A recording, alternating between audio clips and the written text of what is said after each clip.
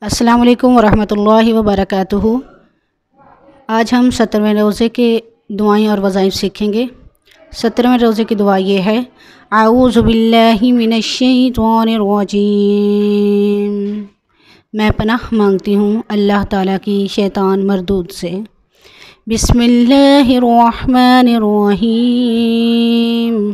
شروع اللہ کے نام سے جو بڑا مہربان، نہایت رحم کرنے والا ہے۔ اللہم احدنی فیہ لصالح الاعمال وقدلی فیہ الحوائج والامال یا من لا يحتاج الى التفسیر والسؤال یا عالما بما فی صدور العالمین اے اللہ، آج کے دن مجھے نیک اعمال بجا لانے کی ہدایت دے۔ اور میری حاجات اور خواہشات پوری فرما۔ اے وہ جو سوال کرنے اور ان کی تشریح کا محتاج نہیں، اے ان باتوں کے جاننے والے جو اہل عالم کے سینوں میں ہیں۔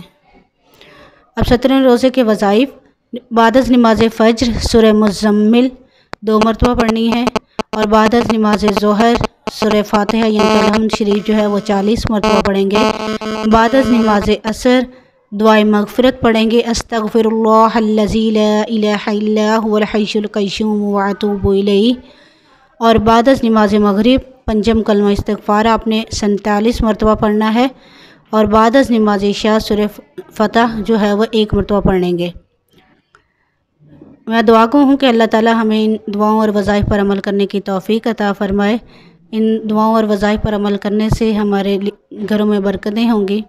ہماری آسانیاں پیدا ہوں گی اور اچھی بات کو شیئر کرنا بھی صدقہ جاریہ ہے۔ جزاک اللہ۔